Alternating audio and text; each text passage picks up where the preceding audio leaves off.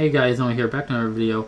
This will be essentially two videos in one, kind of. A little quickie video, I guess you could say.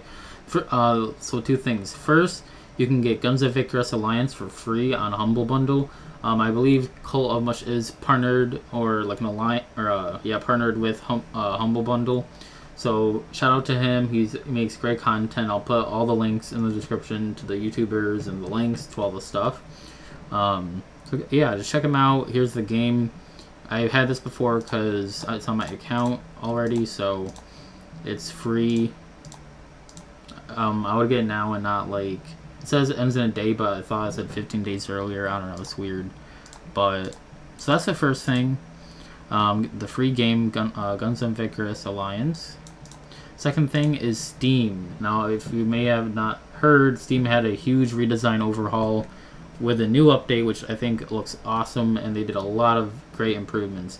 So when you click up, so over here you can already tell they improved your like it shows your currency already and all this stuff with your icon. Um, it looks more clean, professional. Over here, you can see your chat logs, and you can pin your friends over at the top to quickly message them. So click on my friend or my brother, obviously. Um, you can now send pictures and GIFs, so I'll just send something else. Upload an image. Let's, uh, let's see. We'll send a, uh, type an old GIF. And you can hit tag as spoiler, so that's, it's not a spoiler. And there you go. And I can resize it, which is pretty cool if you want to resize it.